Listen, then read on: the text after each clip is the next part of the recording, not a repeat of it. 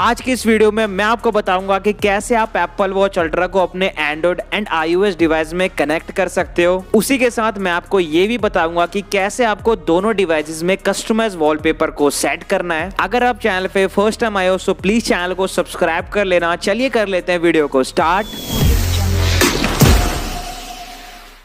Watch को connect करने के लिए सबसे पहले आपको एक एप्लीकेशन को डाउनलोड कर लेना है, जिसका नेम है डेली फिट अगर आपको ये एप्लीकेशन स्कैन करने के बाद नहीं मिलती या फिर प्ले स्टोर पे नहीं मिलती सो इसका लिंक मैंने आपको डिस्क्रिप्शन में प्रोवाइड करवा दिया है। गाइज़ यहाँ पर मैंने अपने फ़ोन में ऑलरेडी एप्लीकेशन को डाउनलोड कर रखा है। चलिए मैं इसको ओपन कर लेता हूँ। देन स्क्रीन पर आपको दो इंस्ट्रक्शन देखने को मिलेगी। आपको दोनों को इजिली ओके कर देना है। उसी के साथ परमिशन मांगेगा आपसे, कुछ आपको इजिली अलाउ कर देना है। सभी परमिशन को अलाउ करने के बाद बाद आपको डिवाइस वाले ऑप्शन पर चले जाना है। और अगर आप ये सोच रहे हो कि मैं डायरेक्टली ब्लूटूथ के साथ वॉच को कनेक्ट करके म्यूज़िक एंड कॉलिंग कर सकता हूँ सो आप गलत हो। टॉप कॉर्नर पर आपको एक कनेक्ट का ऑप्शन दिख रहा होगा, वहाँ पर आपको इजीली क्लिक कर देना है। देन ये आपसे लोकेशन मांगेगा, आपको ओके कर देना है। यहाँ पर आपको थ्री ऑप्शंस मिलेंगे, आपको हाई एक्यूरेसी पर क्लिक कर देना है। और अगर आप मेरे साथ साथ इस प्रोसीजर को कर रहे हो सो आप लगभग 50 परसेंट प्रोसीजर कनेक्शन का कंप्लीट कर चुके हो। ये प्रोसीजर क्लियर होने के बाद आपको इजिली ब्लूटूथ को ऑन कर देना है। उसी के साथ यहाँ पर आपको एक एप्पल वॉच अल्ट्रा का पॉपअप दिख रहा होगा। आपको उस पर क्लिक कर देना है। क्लिक करने के बाद आपके सामने एक ऑप्शन आएगा जिसमें आपको आंसर्स देने हैं। आपको इजिली वहाँ पर भी ओके कर देना है। देन यहाँ पर आपको एक स्टार्ट पेयरिंग का ऑप्शन दिख रहा होगा। इस ऑप्शन पर आपको मैक्सिमम दो से तीन बार क्लिक करना है। अगर आपको तब भी कुछ चीज़ें शो ना हो तो आपको यहाँ से डायरेक्टली एग्जिट कर लेना है। उसी के साथ आप लोग देख सकते हो टॉप कॉर्नर पर हमें पहले कनेक्ट का ऑप्शन दिख रहा था बट यहाँ पर आपको डिसकनेक्ट का ऑप्शन दिख रहा है। यानी कि हमारी वॉच कनेक्ट हो चुकी है स्मार्टफ़ोन के साथ। सो so ये था ओवरऑल प्रोसीजर जिसके थ्रू आप अपनी एप्पल वॉच अल्ट्रा को अपने एंड्रॉइड डिवाइस के साथ कनेक्ट कर सकते हो। देन चलिए अब मैं आपको शो करूँगा कि कैसे आपको अपनी एप्पल वॉच अल्ट्रा को अपने आईओएस डिवाइस के साथ कनेक्ट करना है। सबसे पहले आपको अपने आईओएस डिवाइस में कैमरा को ऑन कर लेना है। उसी के साथ स्मार्ट वॉच में आपको एक क्यूआर कोड मिलता है। उसको आपको स्कैन कर लेना है। स्कैन करने के बाद ये आपको डायरेक्ट ऐप स्टोर ले जाएगा। वहाँ से आप इजिली डेली फिट एप्लीकेशन को डाउनलोड कर सकते हो अपने आईओएस डिवाइस में। एप्लीकेशन डाउनलोड होने के बाद आपको डायरेक्टली डिवाइस के ऑप्शन पर चल जाना है। वहाँ पर आपको टॉप कॉर्नर पर कनेक्ट का ऑप्शन दिख रहा होगा। वहाँ पर आपको क्लिक कर देना है। देन यहाँ पर आपको एप्पल वॉच अल्ट्रा का पॉपअप दिख रहा होगा। वहाँ पर आपको क्लिक करके सभी चीज़ों को, सभी परमिशन को अलाउ कर देना है। जैसा कि आप लोग देख सकते हो वॉच काफ़ी फास्टली कनेक्ट हुई है आईओएस डिवाइस के साथ as compare to Android device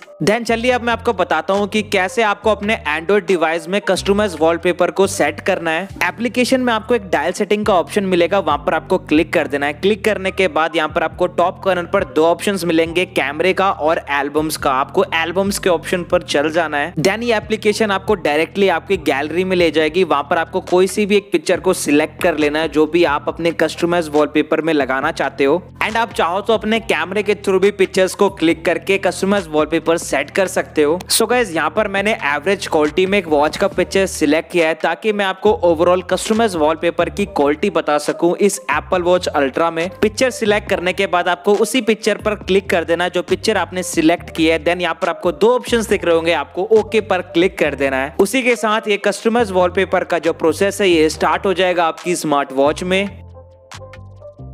almost guys ये प्रोसेस कंप्लीट हो चुका है एंड जो वॉलपेपर है, वो भी हमारी स्मार्ट वॉच में लग गया है। चलिए अब मैं आपको इस वॉलपेपर की ओवरऑल क्वालिटी भी शो कर देता हूँ कि किस टाइप की क्वालिटी आती है कस्टमाइज वॉलपेपर में। मेरे पॉइंट ऑफ़ व्यू से मुझे इसकी क्वालिटी एवरेज लगी बट मैं आपके साथ एक चीज़ शेयर करना चाहता हूँ। वो ये है कि अगर आप कैमरा से क्लिक्ड पिक्चर्स को कस्टमाइज वॉलपेपर में सेट करते हो तो उस टाइम जो वॉलपेपर है आपको अच्छी क्वालिटी में देखने को मिलेंगे। उसी के साथ एप्लीकेशन में अगर अदर फीचर्स की बात की जाए तो यहाँ पर आपको फ्लिप रिस्ट लाइट स्क्रीन का एक ऑप्शन मिल जाता है, जिसका यूज़ करके अपने हैंड्स की मूवमेंट के थ्रू वॉच की लाइट स्क्रीन को ऑन एंड ऑफ़ कर सकते हो। बट ये फीचर इस स्मार्ट वॉच में काफ़ी स्लो वर्क करता है, जिस वजह से इसने मुझे काफ़ी डिसअपॉइंट किया है। और अगर आपको ये फैक्ट एंड इन्फॉर्मेशन अच्छी लगी हो सो प्लीज़ वीडियो को लाइक ज़रूर कर देना। देन चलिए अब बात करते हैं कि कैसे आप आईओएस डिवाइस के थ्रू एप्पल वॉच अल्ट्रा में कस्टमाइज वॉलपेपर को सेट कर सकते हो। कस्टमाइज वॉलपेपर सेट करने के लिए सबसे पहले आपको डायल सेटिंग्स में चल जाना है। देन यहाँ पर आपको टॉप कॉर्नर पर वही सेम दो ऑप्शन मिलेंगे कैमरा एंड एल्बम का।